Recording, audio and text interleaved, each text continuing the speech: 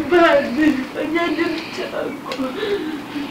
Tangu usiku kazini hii, sisi hatujalala, hatujapata usingizi kabisa. Kararating lang yan, Mare. Kararating iwapi? Ngala yule wampiga.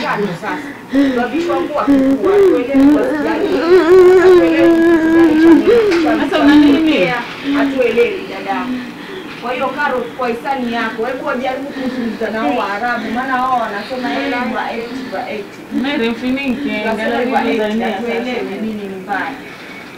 Kwa hiyo tafadhali, angalieni vile mtafanya, wasilianeni na mjuanake, kama mko na namba zake, mwasiliane naye. Mpishe njia ndeza zake jikoni. Tutalala sisi hapa.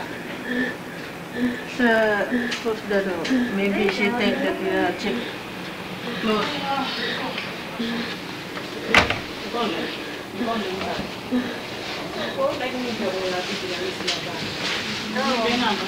tulog. Huyu demu alitoka Kenya last week, akaletwa kwa nyumba, akapokelewa vizuri kwa tajiri wake. Kumbe alikuwa anakuja kuosha nyoka, kutunza nyoka. Ati majoka zingine kubwa mbili kubwa zimejaa kwa room, nyoka kubwa zimejaa kwa room mbili. Akapewa mpaka mafuta tishu vile atazi, akaonyeshwa vile atazi, ataziosha akakataa msichana wenyewe akakaa kwa room. Akatetewa na ofisi akachukuliwa akakuja kuchukuliwa. Imagine ona msichana wa watu amekuwa wazimu. Kabisa amefiatu.